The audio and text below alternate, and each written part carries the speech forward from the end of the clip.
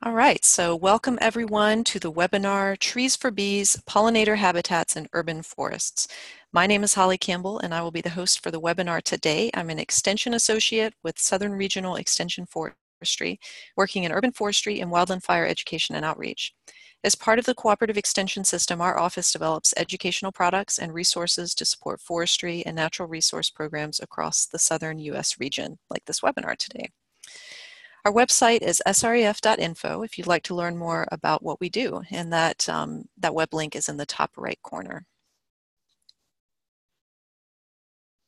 So our presenter today is Dr. Elizabeth Benton from the University of Georgia. Before formally introducing Dr. Benton, I will provide a short introduction.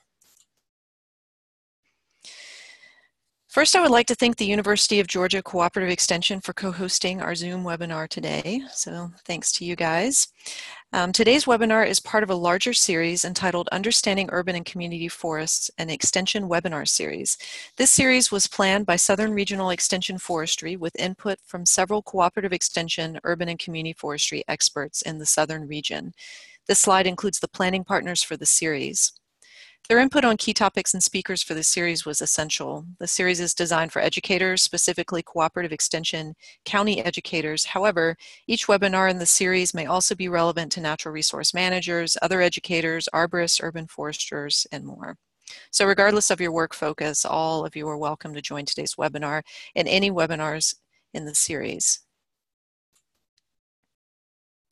So the goal of the series, which includes 12 web webinars in all, is two parts. So one, to increase extension educators' knowledge of research-based urban and community forestry information, and two, to provide educational resources that support delivery of that information to the public.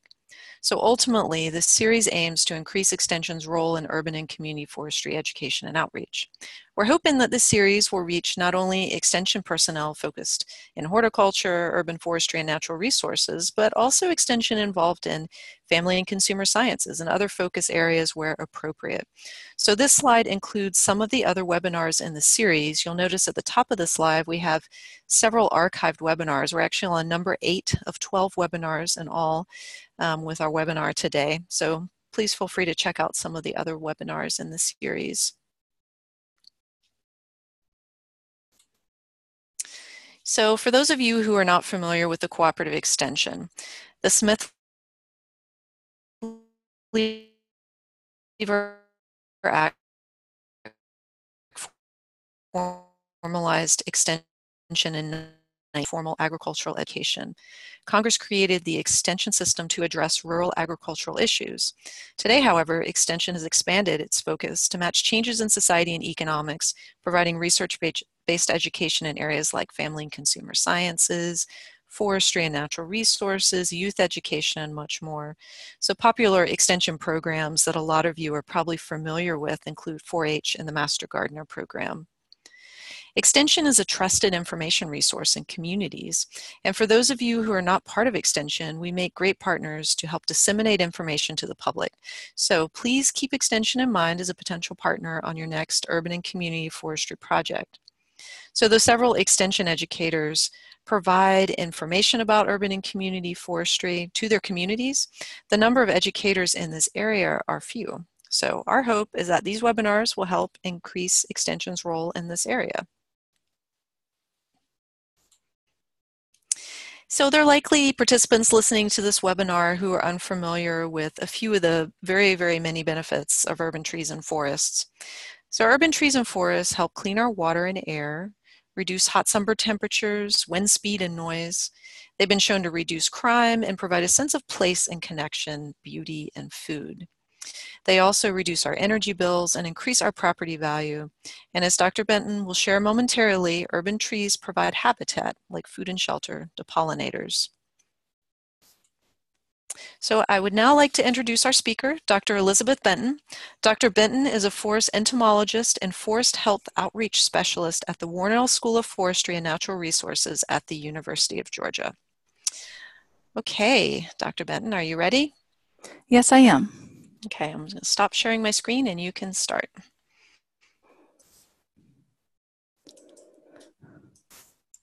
All right. I hope everybody can see this. Thank you so much for being here this afternoon.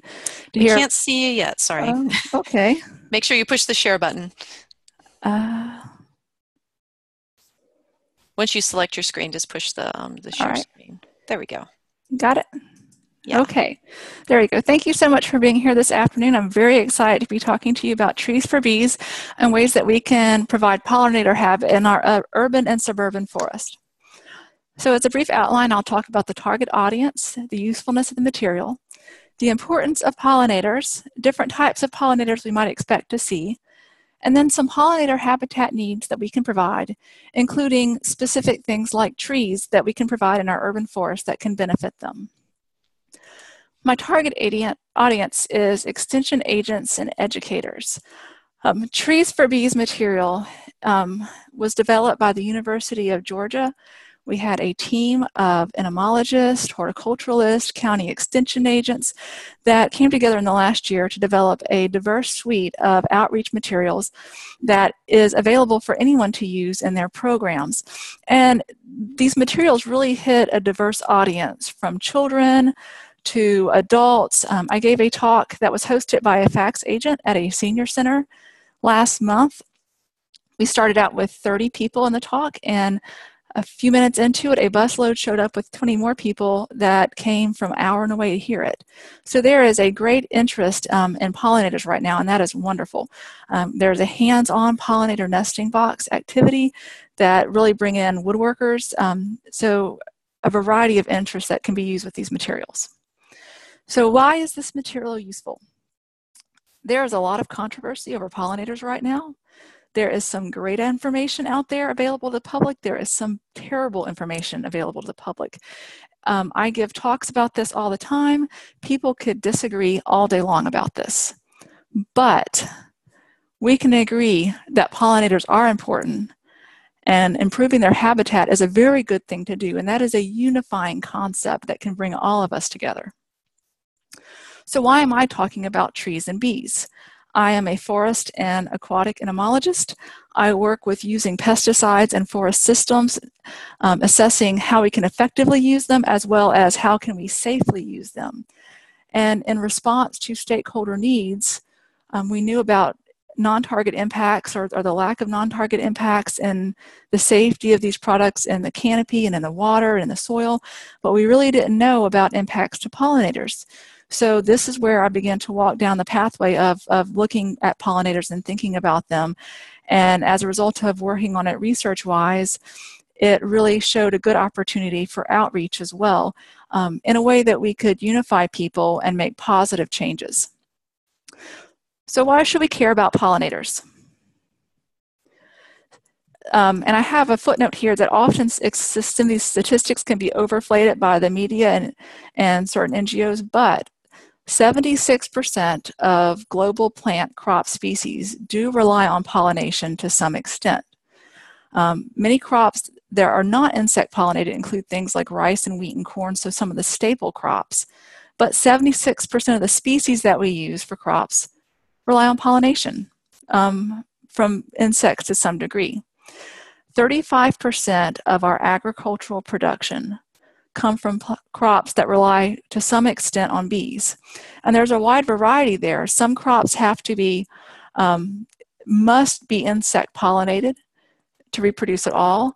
Others use insect pollination to increase fruit set, increase fruit weight and quality, and increase yield. And so that's very important that 35% of the crops that we use need pollination to some extent, and that, in, that improves the amount and the quality of food that we get.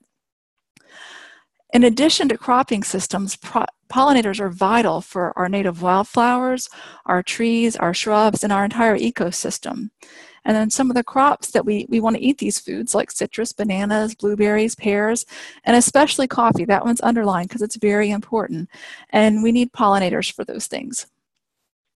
So let's discuss a little bit of science about pollinators and trees. Whenever I started to walk down this path and begin to look for research in this area, I was surprised at how bees and forests are understudied, bees and forest canopies. Um, I think that the landscape of research is changing and we are beginning to learn more and more about our bees and our pollinators, and that is wonderful. And so, five years from now, I would expect this slide, um, all of the information could take up a whole one hour seminar. Um, but one really cool study I would like to hi- highlight was conducted by the United States Forest Service in Athens, Georgia.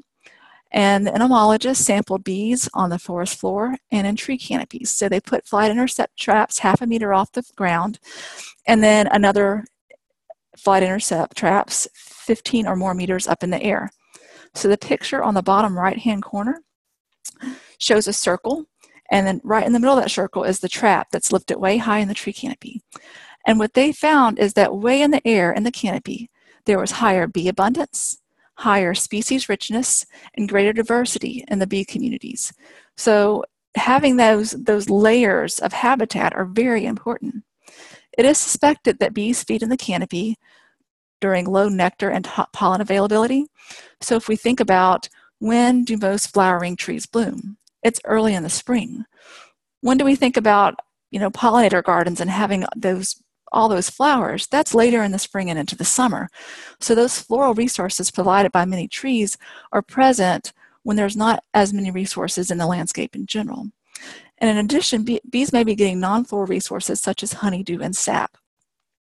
And I'm really excited about some of the studies that I know are ongoing, and I think that we're going to have some really great information in the next few years. As important as pollinators are, they do face increasing challenges. Um, first of all, we do have unintended consequences of pesticide misuse. A tool is only as good as we use it correctly. And when we use tools incorrectly, we are sure to have consequences that we don't want. And so, as the target audience is educators, um, y'all are empowered to spread a good message about this and how we can safely use pesticides. And all that goes back to following the label and using these things when and how we are supposed to use them. But in addition to that, and probably more important to that, are parasite and disease pressures, especially varroa mite. Taking care of honeybees, for example, now is much different than it was before the 1980s when varroa mite was introduced to the United States. And so we are facing our bee communities, our bee honeybee communities are, are facing increased pressure because of that. And in addition, the picture to the lower left side is habitat loss. As we build neighborhoods and shopping centers and factories and businesses and parking lots, that's replacing native habitat with habitat that is lower quality and lower quantity of resources for pollinators. So here is what the typical new construction looks like. We've got a house, we've got more pavement down, lots of grass, and a few plants that in general offer very few floral resources. Let's take this typical home and make it look like that. And if we were intentional about providing resources and providing habitat, what a difference that would make as we expand and have increasingly urban and suburban areas. So we actually can help by making our yards more pollinator friendly. What pollinators might we expect to see? Bees are the obvious choice, but we also have wasps, beetles, flies, butterflies and moths and hummingbirds.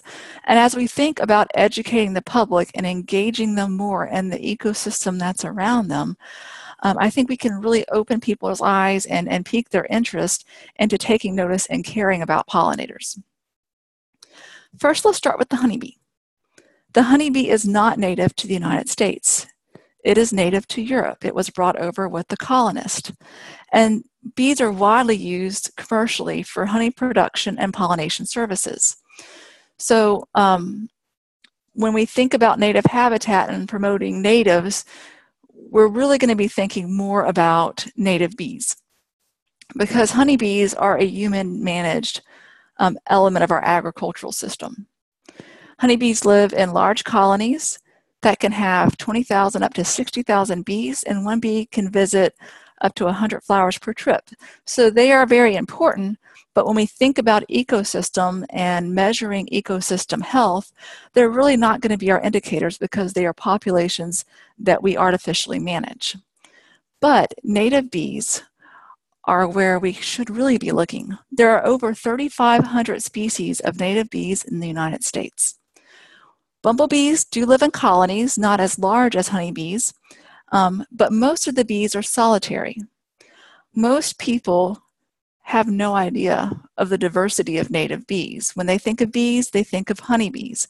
So if we can open the eyes of the general public to the diversity that we have that is native and what a good indicator of ecosystem health they are, I think that we're going to have a much better view of our system and how we can engage with it. Native bees have to some degree been understudied, but that is changing. There's lots of really exciting research going on in this area, and I'm excited to see all the new things that we're going to learn in the next five or 10 years. So to cover a few of these, mason bees. They're called mason bees because they use mud in their nest construction, just like a brick mason would use a muddy type material between bricks. A female will make a nest of cells that are divided by mud, and these cells are little cavities or holes where she will stock it with pollen, nectar as food sources, and then an egg. The egg will hatch, the larva will begin to eat those resources the female has left, spin a cocoon, and then ad- emerge the next spring. So we say they, they make these nests in holes. That would be things like decomposing logs, um, and, and wood around the area are pithy stems of, of plants from the year before. Related is leafcutter bees from the same family. With a similar life cycle, the adults are going to emerge in the spring leading into summer. And after mating, the females will begin making their nest in a very similar cavity or hole.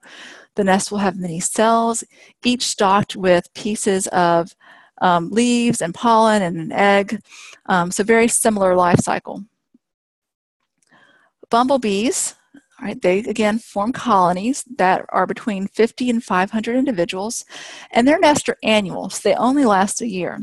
A female will begin stocking her nest and creating it and reproducing, and then as she has more offspring, her role will shift more to solely reproduction. Um, the queen, when she's setting up that nest, will be collecting the pollen and nectar for her new baby, baby bumblebees, which I could not resist putting in the presentation. So that's a great native um, bee to talk about. And then carpenter bees, which are often mistaken for bumblebees. They're very, both of them are, tend to be large bees. Bumblebees have a hairier abdomen, where carpenter bees tend to have a slick, shiny abdomen. Um, the females dig tunnels in the wood once mated. And a lot of times that wood is the trim on our house, our fences, our decks. And so when people talk about carpenter bees, they usually want to know how to kill them. But they are an important native pollinator. And if all possible, I, I advocate that we learn to live with them. Um, they make tunnels in the wood to fill with eggs in cells like the other bees. The cells are separated by wood chips and are equipped with pollen and nectar for the feeding young. The adults will emerge and hibernate over winter. All right, and then butterflies. Notice how we're starting to have pollinator gardens, but before we had a lot of butterfly gardens.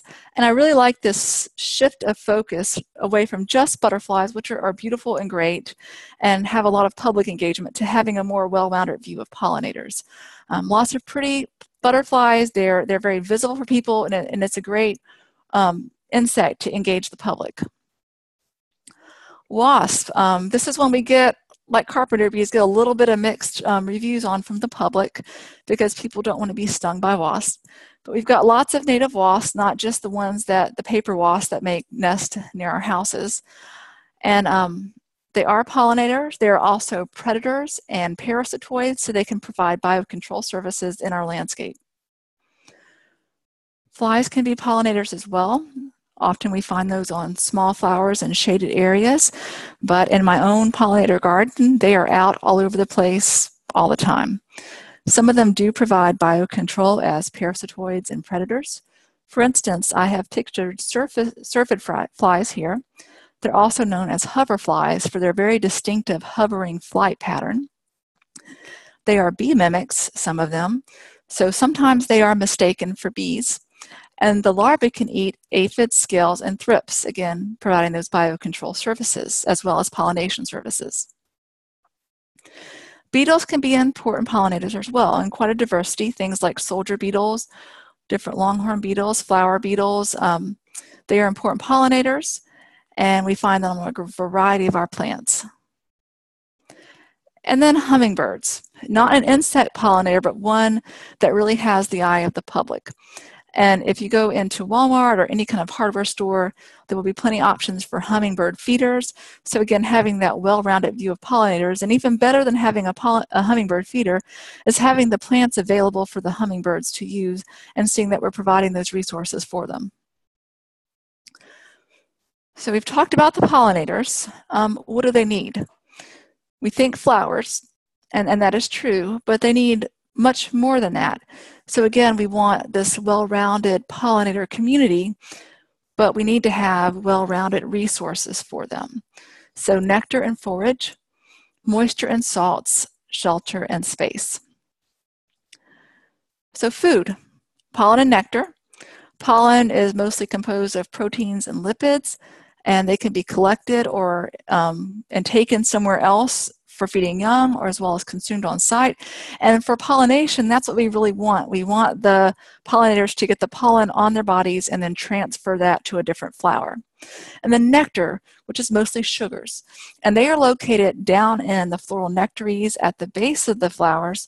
So the pollinator going to get the nectar will go across the pollen, pick up the pollen on the outside structures of the flower, and get the nectar further in of, of interest is um, sometimes some insects rob nectar. And this can be an interesting thing to encourage people to look for in their pollinator gardens. So some bees and wasps have short tongues and they can't get into these tall, long flowers. So they will bypass the pollen, go around, pierce closer to the base of the flower, and rob the nectar. So we said nectar. Um, a little more detail is, is diverse forms of nectar. So lots of different kind of plants to provide that and having nectar source year round. Um, think about pollinators coming in the summer and summer flower gardens, but we want to have the resources for the pollinators all year round. So that means that we need diverse resources all year round. So lots of different types of plants to give nectar during different seasons. And then forage, that's referring to food for the caterpillars. And that's another one that could kind of be a hard fit for the public because we want the pollinators in our garden, but then we don't want to see anything eating the plants in our garden. But if we want the adults there, then we have to provide the resources for the young as well. So that might mean planting some things that the larvae want that we will sacrifice and realize may end up looking a little bit ratty because we want the caterpillars and other larvae to feed um, and we need to support and be supportive of that whole life cycle. Moisture and salts, and this is one that even as an entomologist I really didn't think about very much until I began to walk down this path and learn all these new materials. Um, they need salts and that can be available from bare ground. So the pictures show the butterflies getting the salts off of the bare ground. And in many of our urban and suburban um, yards, neighborhood landscaping, we don't leave a lot of bare dirt. There's a lot of grass, there's a lot of cement and mulch. But bare dirt isn't very desirable. But if we can leave some of that area in our diverse planting habitat, then we can help provide that resource. And, and it also provides space for things like um, ground nesting bees. And then water. We need water most organisms need water. And after it rains, we do have water collect in leaves and things like that, like the picture in the upper left corner. And that's great, but we can also provide water sources for them as well. And that can be something as simple as filling up bird baths. And this depth isn't really important. They don't need deep pools of water. And so even in a bird bath, we can put gravel rocks down that will give extra landing spaces for the pollinators. The important thing is to keep it a fresh water source. So in providing water for the pollinators, we also do not want to, at the same time, provide stagnant water habitats for things like mosquitoes. And then shelter. And shelter, um, when I talk about doing trees for bees and having this kind of a diverse habitat, sometimes I use the expression messy gardening, we're going to do a little bit of messy gardening. So our typical subdivision house, again, has a driveway and a sidewalk, lots of grass, and a few plants, and there's no debris around. Everything is kept very manicured and pristine. Um, unfortunately, that does not provide a very diverse habitat for a healthy insect community. So if we can increase that diversity by things like rock piles and log piles, some things overwinter as adults, and that means that they need to get in little cracks and crevices to stay warm. Pithy stems, um, I mentioned that before, that that's a great resource for things that are going to make um, cavity nest. And so a lot of times we cut back these pithy stems at the very beginning of the year and the new foliage grows up. But if we can leave about a foot or so, that can actually be a resource for them. The new foliage is going to grow up and cover that up anyway. It's not going to look bad, and it'll be a hidden resource that some of these pollinators will take advantage of. And then nesting boxes for bees. Sometimes they're called bee hotels. I've got a picture of one of mine on the right hand side. So for things like leafcutter bees and mason bees, um, they need these cavities of dead wood to nest in. And we don't keep a lot of that around our house, but we can provide that. And this can be very simple. We got creative on ours because um, I'm married to a woodworker, but it does not take this amount of detail. It can be something as very simple as an untreated 4x4 with holes drilled in it and hung up somewhere in the garden. Um, easy, easy. And one of the publications I'll highlight later on is go step by step through cr- creating these and how this can be a great hands-on outreach tool. And then members of your audience can take this home with them and they have something to look at all year round and even into the next year watching for their pollinators to come watching for them to emerge and then the pithy stem habitat can be recreated as well by using bamboo shoots little bits of dried hollowed out bamboo, and then taking um, the reeds, just three or four reeds, put them together, tie them with twine, and people can hang those up in their gardens, hang them horizontally long ways, and um, watch for pollinators to come over nest in those. And then space. Um, space like dry soil for nesting sites, so we're back to dry soil again, but things like digger bees, bumblebees nest underground. And I notice in my garden areas where I really just don't put mulch at all or very little, and I do have bees coming in and out nesting in there. Open flat surfaces for sunning, so boulders or flagstones, so we can provide that food, water, shelter, and space that they need um, for having a well-rounded whole pollinator habitat. But this is trees for bees. So let's meet some of the trees that we can incorporate into our urban and suburban forest um, to be resources. And as I go through these, I'm using a lot of natives. And as we think about what we have in our neighborhoods, some of these are already there. And some of them are easy to incorporate. American holly is a dioecious. That means it has either male or female flowers. So the male flowers are on the left and the female flowers are in the middle. They bloom in the spring and are attractive to honeybees, birds, and butterflies. In addition, pictured on the right are berries, which are um, useful for wildlife. A lot of times we already have lots of holly in our landscaping, but if we're hedging them and making them shrubs, then the flowers and the berries that are of wildlife value are not being allowed to be present. So maybe it's not that we don't have those aspects there, but can we manage them differently to be beneficial to pollinators and wildlife? Yaupon holly, um, same genus, grows from 12 to 45 feet tall and it can have this drooping growth form that's very desirable in some landscape settings and that's pictured on the far right. It's got the same kind of inconspicuous flowers as the American holly. That's pictured toward the middle, but it is very attractive to pollinators. And they tolerate a variety of soil conditions and can grow in the sun as in partial shade as well. And then, like the American holly, they do have fruit that attracts birds and small mammals. Florida anise tree, sometimes called sweet alyssum, is a smaller tree. And notice that these are all things that stay relatively small. So far. And that's important because in many urban and suburban settings, people may be space limited. They may not have room for something that gets to be a giant tree, but there's lots of options for these smaller spaces. Right, the Anise tree um, has these pretty dark red blooms in the spring with evergreen leaves, so it's going to have nice form all year long. They will tolerate heavy shade. Down in my neck of the woods in the deep south, I find those a lot in riparian areas, and so this is a very nice addition that can be more of a shrub form or a tree form, so that one's pretty versatile. Wild olive can grow 10 to 20 feet high and will be happy in sun to partial shade. They prefer fertile, moist, well-drained, acidic soils. It's got the small um, white flowers that are very fragrant, and they also provide berries for wildlife later in the year. Carolina cherry laurel grows from 15 to 30 feet high. This is another evergreen with shiny, um, shiny waxy leaves and these showy clusters of white flowers. So it's gonna, the whole bush or tree will look nearly white when it's blooming. It prefers moist, well-drained, loose soils and is attractive to both birds and bees. Staghorn sumac is a really nice one. It's one of my favorites, but it's one that a lot of people see as more of a weedy species. But the sumac has lots of to offer numerous times during the year.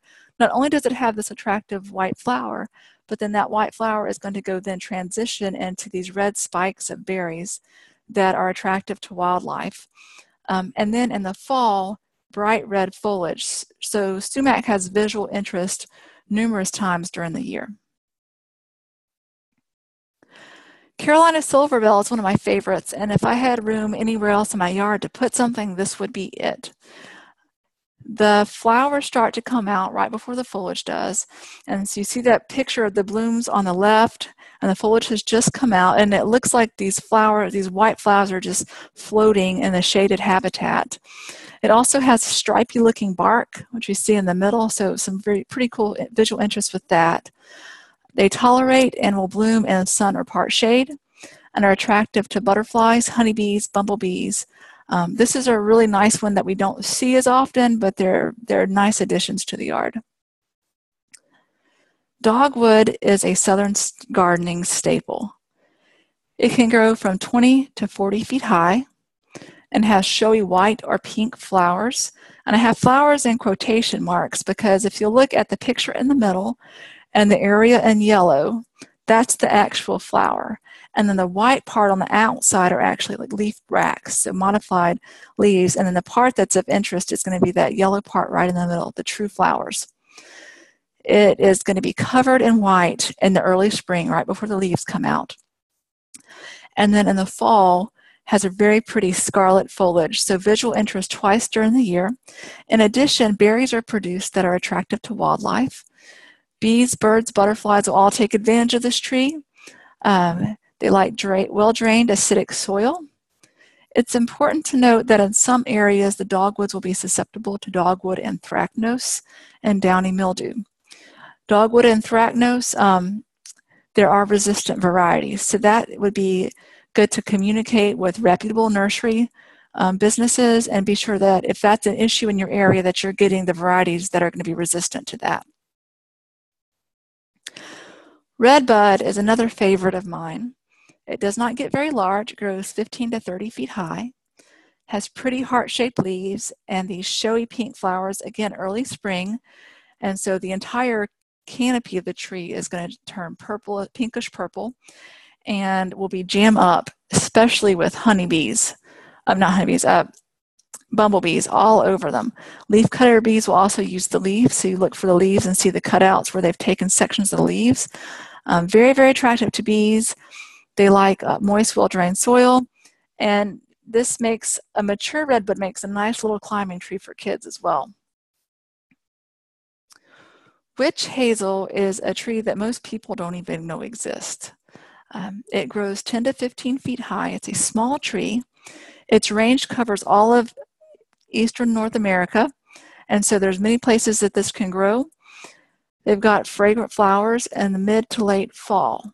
So most things have been, we've talked about bloom, bloom in the spring, but this one actually blooms in the fall when most other trees have lost their leaves. So that's very distinctive.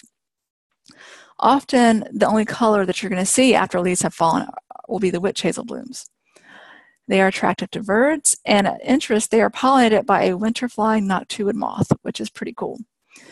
And you may not recognize witch hazel as a tree name, but most people remember it as a medicinal um, name. And if you go to the pharmacy and look around the peroxide and alcohol, there'll be a little plastic container called witch hazel. And it's an anti-inflammatory astringent that can be used for minor skin, skin irritation from the same plant. And so sometimes it's more known in the public for that than actually being a tree that's good for pollinators. So those have been smaller trees, and then a couple of larger trees, if you have the space for it, are, are these are pretty common natives. So They may already be growing in your neighborhoods.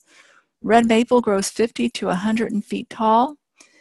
It has visual interest twice during the year with red flowers in the early spring that covers the canopy and then bright foliage in the fall, as well as during the growing season, just having a nice general green canopy. Red maple can grow in a variety of conditions. Not only is it attractive to bees and other pollinators, but it's also a larval food for, uh, for caterpillars. And then tulip poplar. This one can get 50 to over 100 feet tall. It's got a long, straight trunk and large, showy yellow flowers. When we think about trees blooming, you know, other than things like southern magnolia, a lot of times with big trees, we're thinking of inconspicuous flowers. But that's not the case with tulip poplar. Their blooms are about two, two and a half inches or more across. Big yellow flowers um, that we typically don't see on these big trees. So very nice visual interest in the spring. In addition, it's got bright yellow foliage in the fall, so very pretty addition, and it grows pretty fast. Um, so nice addition to a yard. It's a resource for, for birds, bees, and butterflies, and is a larval host for the eastern swallowtail butterfly. Um, most of us are on our lunch breaks, and I could go on and on about all of the different trees that provide wonderful pollinator resources. Things like southern sugar maple, red buckeye, fringe tree, southern crabapple, black cherry, and sourwood. And I'm really excited about the research that's being conducted currently on our native trees and pollinators so that we can have much more in-depth information on this in the future. We know that canopy trees are attractive to pollinators, and I think it'll be so interesting to find out more information on that in the future. But to cover a couple more things, because we, if we're dealing with trees and we're in the urban forest, then we're in shady habitats, so we need more than just trees. We also want to have different layers for pollinators, so a couple of easy to access plants for the general public that can add pollinator resources in other layers. Begonias. Begonias are wonderful pollinators. I get bumblebees on mine. Six o'clock in the morning, they're out there on the begonias. Um, and if you go into any box store like Lowe's or Home Depot or Walmart, these are widely available. Um, you know, when we started this Trees for Bees project, we did wonder should we only focus on natives? And that would be great, but the problem is that for many people, native plant nurseries are not very accessible. And so we wanted to give information and give resources to people that would give them achievable goals. So begonias, you know, widely available, a good pollinator resource. Impatiens are another one that um, are very available. The picture on the upper right hand, left hand corner is from my yard, and I typically see butterflies on these numerous times during the day. So another very accessible resource. And then hydrangeas, and I mentioned that they're, they're widely available, but it's easy to get the wrong kind. And what I mean by that is that um, we usually see mop head hydrangeas. Those are very commonly sold, where the whole flower head just looks like a big mop. And if the picture in the upper part of the, of the slide is a lace cap hydrangea. So you'll notice that there is a ring of flowers around the edge and then little spiky things in the middle. The part in the middle are the actual flowers. The pink on the edge that looks like flowers are modified leaves. So lace cap hydrangeas have the actual flowers that pollinators use, while mophead hydrangeas have been bred to not have that. Oak leaf hydrangeas are a native that do have floral resources for pollinators. They get very big, they do well in the shade, so that's a nice addition. And then smooth hydrangeas in the bottom right hand corner looks like a mop head, but the actual real flower parts do stick out between the modified flower leaves. So those can be used as pollinator resources as well.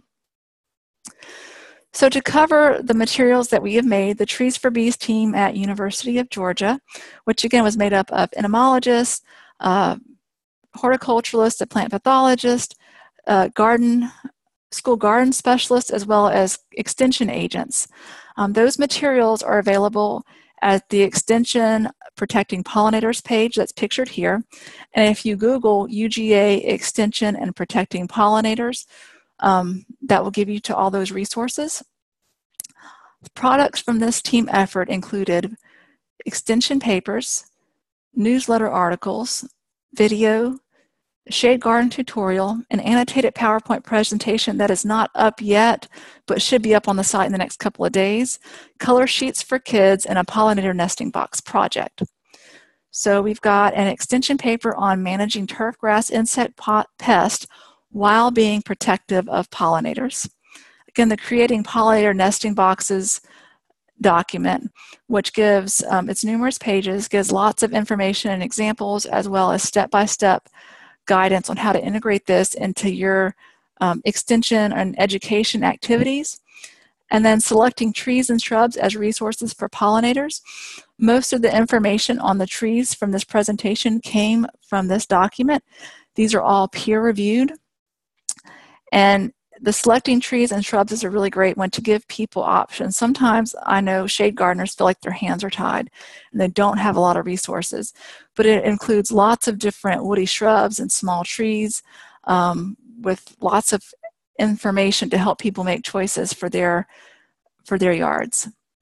And then on the left hand side, picture two different newsletter articles with pictures that can be incorporated into your blogs or your newsletters or your websites um, that are there for your use, as well as about a one and a half minute um, video.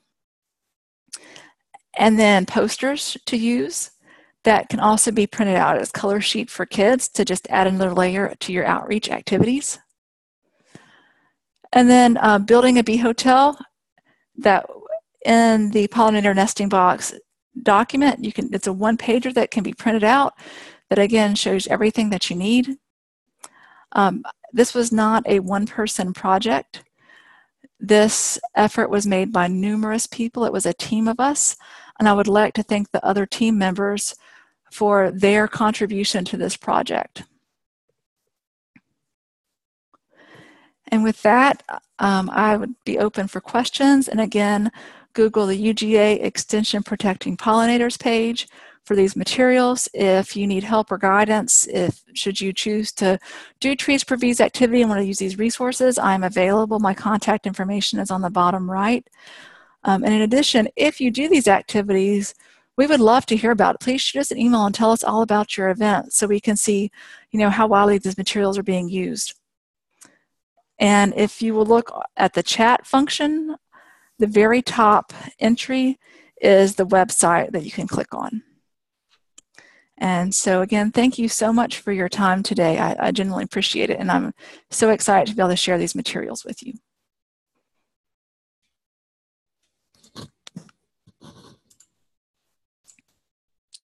Okay, thank you so much, Dr. Ben. That was excellent. Um, so everyone. This is Holly Campbell again. I'm your host, and um, I understand if some folks have to leave, but we're going to do uh, make some time for answering questions. Um, so again, if you have questions, please please type them in the Q and A box, um, not the chat box, because um, I have trouble keeping up with both of them at the same time. So again, all questions for the speaker go in the Q and A box. Um, and I'm going to go over some of the contents of the slide that you're viewing right now while you're typing your, um, your questions in for Dr. Benton. So um, again, for those who joined later, our speaker was Elizabeth Benton. Uh, she's with the University of Georgia and her email address is repeated here again if you would like to reach out to her about any, any aspects of um, the presentation today. Again, today's webinar will be archived or listed as quote unquote on demand on forestrywebinars.net. I will have it uploaded in the next couple of days, so you can refer that on to other people or you can watch it again. So um, again, as mentioned, this, this webinar today is part of a series of 12 webinars that we have offered this year, starting in March this year. And the um, today's webinar is number eight of 12, and our ninth webinar will be on July 24th. It's called Transitioning from Gray to Green Infrastructure, and it's about water quality in the urban forest. And so that'll be presented by Robert Northrup of University of Florida I, IFAS Extension, again on July 24th. And so you can find out more information about that webinar on forestrywebinars.net as well. And if you have any information or have any questions about the webinar series, um, you can contact me, Holly Campbell, at my email address here. Um, and you can also find a full listing of all the webinars in the series, uh, several of which are already archived, at sref.info.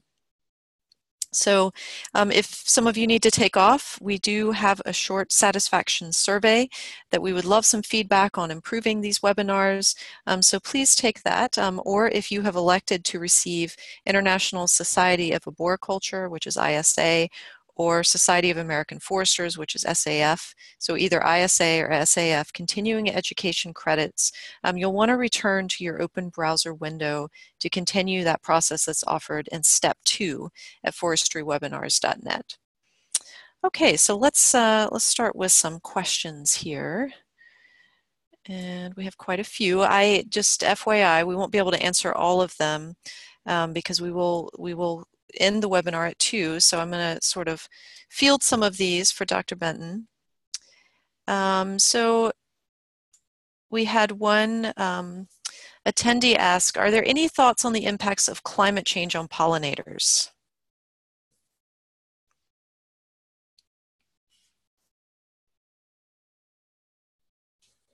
Dr. Benton, you may be muted. Hi, I, I, think that that is probably an area of active research right now. It's not my research area, um, but I imagine when I go to our national entomology meeting that we'll be seeing talks on that. Okay. I, am I'm imagining that people can probably find um, some information online about that. Okay, so um, I, let's see, I'm going to read this one out. I am an urban forester, a consulting arborist, and a trained beekeeper. Um, I can tell you from my own professional experience that um, even when you follow the label for pesticides, um, uh, neo, neonics pesticides, the re residual effects are such that they, Im they impact pollinators long after the time frame that the label's usage encourages. Um, I have not permitted their usage on any project I've worked on because of their toxicity um, for months and months after usage. And I, you may want to speak to that. I, I, certainly can, and it is an area of my active research. I have worked with um, longevity of hemlock and forest, uh, a longevity of neonics in forest settings, specifically with hemlock. And so, um, number one, this is a, a controversial issue, and I will say that there has been some very bad research in this area, and there has been some very excellent research in this area. So you really have to be careful with what information you're getting and where you're getting it. There is an ongoing study at um, that Clemson University is part of right now, where they've looked at um, treating in nursery settings and then how long it's effective um, in plants after the nursery setting. And I think that we're going to have new management recommendations for nursery coming out of this research. I am currently researching this in forest areas to see, you know, how far are we spreading from the place that we're applying around a tree laterally. And so I think it really depends on what you're treating, how you're treating it, and what's growing around it. Okay. Um, so Dr. Benton, I'm not I'm, I'm just going to ask you, do you do you know much about cultivars of flowering trees and their effects on pollinators? No, I don't. Okay, I may I may skip over that question. Uh, okay. I can um, answer the one below that. okay, go ahead. I'm scrolling okay, through. There's quite a few. right, the biggest threat to pollinators in my area is overuse of pesticides sprayed for invasive plants and widespread use of insecticides for mosquito control. Parks and Rec spray widely on school grounds and parks. What do you see as responsible use of these chemicals? All right, that's a that's a big question with a big answer. Um, number one, insecticides. Um, when we talk about pesticides, there are things they're insecticides and then there are herbicides. Herbicides are sprayed on plants, and so those are things that um, let's just take that out of the picture because those are active on plants and not insects. And then using insecticides for mosquito control, it depends on what kind of insecticide they're using. Quite often they're using an insecticide called BT, or um, Bacillus thuringiensis, and that kills mosquito larvae, but it's not active on um, things that are not dipteran larvae. It's the same kind of BT that is used in BT corn, but that strain is only effective on Lepidopteran larvae. So it depends. If it is a broad spectrum insecticide, then that can be problematic. It also depends on when we're treating. Um, we're treating generally from a sec mosquitoes and things like that in the evenings, whereas most of our pollinators, say most of them, are more active during the middle of the day. I don't think that we have a perfect answer for everything, um, but it's important to remember that everything is a trade off. And if we talk about the effects of one thing in isolation of the situation in which that problem is residing, um, then we're not taking a fair view on it. And so sometimes we do need to back off of pesticide use or change how we use it. Um, and that really depends on the on the situation and the trade-offs. So I would encourage everybody to be well read, read information from good sources, and then consider all sides of the equation to have a well balanced view of what the situation is and the most responsible way to proceed. Okay, so uh, regarding bee hotels, do they need yearly cleaning or do the bees clean out previous home building by other bees in the past year? That is a great question. Bee hotels are not without maintenance, and some you don't want to sit a bee hotel out and leave it forever. And so think about a bee hotel as like a, a about a two-year product and then replacing it. Some bee hotel vendors will recommend getting paper tubes to line them and then replace it, where other bee specialists really want to see that um, whole piece of wood removed and another one put out um, and keeping the wood fresh so pathogens aren't in there as well. So my best advice is to think of it as a product or resource that you will maintain. And so it may be that you change out the paper tubes or that you let the bees emerge from one year and then put out a fresh one for the next year. You don't want to take it out and then if the brood's still developing or if the young are still developing and haven't emerged yet, but you do want to have a fresh source. So I'm planning on replacing mine every two years. Great. We have um, we have another insecticide question here um, that I'm probably going to mispronounce. Are there are there research are there research-based guidelines for using systemic insecticides on urban trees? For example, how long does uh, in, it's I M I D A C L O P R I D. Imidacloprid? Yes. How long um, does it stay in trees? Is it toxic in flowers when applied as a soil drench? I'm not right. sure if you if you're familiar with that. Uh, yeah, that's expe- exactly what I do research on. Great, I asked so, the right question. Then. For instance, in hemlock, a systemic insecticide can be effective for seven or more years. Hemlock is a non-flowering tree. It has minimal effect to community ar- uh, canopy arthropods. So we're not seeing in canopy problems with hemlocks. It's it's effective for seven years because it is an evergreen tree. And deciduous trees, these are the ones that are going to be flowering. The neonicotinoids are not that long lasting. So it'll last, you know, a year or so, there is new research that has just come out that is not published yet um, on some flowering plants, some blooming trees. And so when we consider neonicotinoids, we also need to consider the alternatives that we would use, um, things like avermectins that are would, would be like emamectin benzoate. And that's what we would use if we're not using the neonicotinoid. And so I think there's some research that's going to be coming out on that pretty soon that compares the two different products. Um, so that's one that a year from now I would have more information on when that research comes out. Um, are they toxic when applied to the soil, flowers as a soil drench?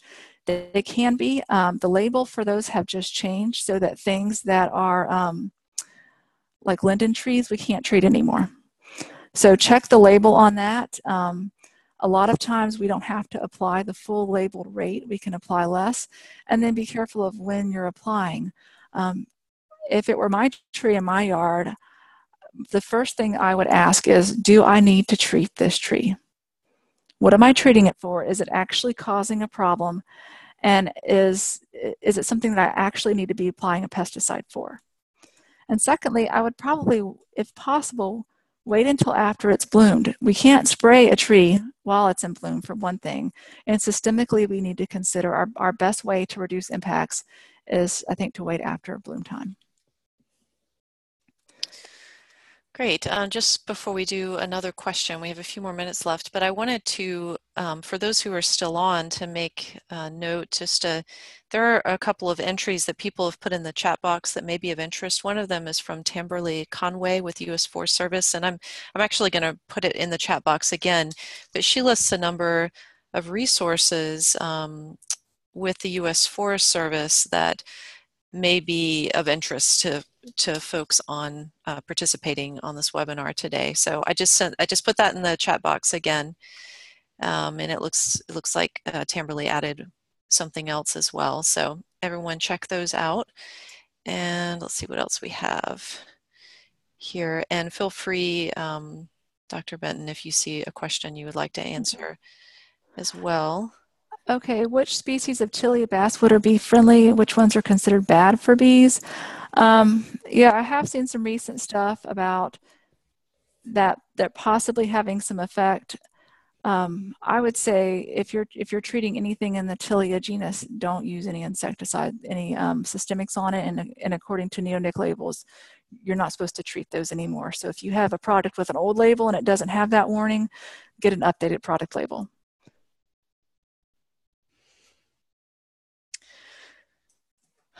Okay. Um, so there's a, a question uh, that someone had put in the chat box and then they moved it to the Q&A box. I appreciate that. Uh, it says, with a pollinator garden or in, in a highly urbanized neighborhood, what is the likelihood of attracting insect species potentially far afield? So getting some of these pollinators in to these highly urbanized areas. That's a really good question. And um, I know some pollinators do go very far. And if we provide habitat islands along the way, then they're not going to have to expend as many resources in from going from place to place. Um, so anyhow, um, I think the best that we can do is provide that habitat and see what comes. I know that I live in a neighborhood and most of the yards are pretty manicured and I'd say per 100 houses in the neighborhood, I'm probably the only gardener. And um, I've seen the difference that it's made in my yard in the last year and a half that I've been gardening it. And it's it's really encouraging to see all of the different pollinators that I'm providing a resource for. So there was another question that um, said, are there any suggestions for Acer or maple alternatives in areas where the urban forest composition is between 40 to 60% Acer, Acer species that would provide the same sort of hosting benefits that Acer species do?